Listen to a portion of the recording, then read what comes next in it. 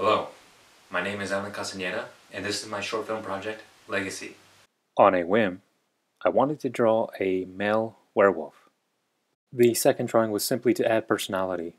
It made me fantasize of a science fiction action love story of two genetically altered humans, each looking for their place in society on a strange world.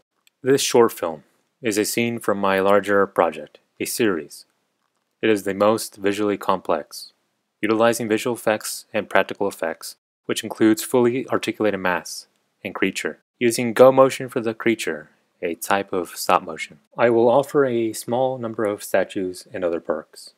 I am open to suggestions concerning perks I should offer.